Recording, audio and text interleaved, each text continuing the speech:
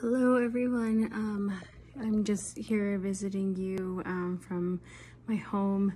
I, I, you know, I apologize for the appearance, um, but I am just getting over um, one of the statistical COVIDs. And um, so bear with me as I'm still trying to put my brain back together. Um, today we're going to go over the, the para sorry, the Paranthropus and the Homo genus and um, characteristics and traits that go with both or in, that compare and contrast with that. Um, the para is, of course, the more physical traits, um, such as the jawline, the head shape, um, larger molars and larger teeth, um, stronger build.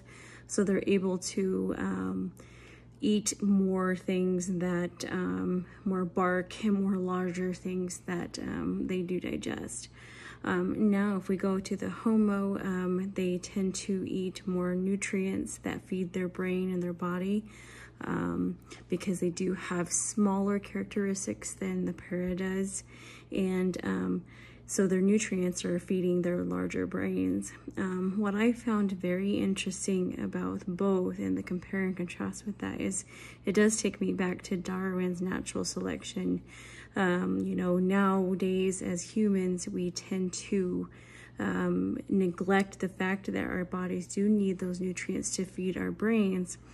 Um, therefore, those nutrients don't um, feed our brains if we're going to eat you know, more of a sugary intake um, that don't feed it, um, we don't tend to live longer. Um, just as the Homo um, ends up, you know, they lived longer um, and because of those nutrients that fed their brains, um, whereas the parrot didn't. thank you and happy holidays. I hope everyone had a safe Thanksgiving.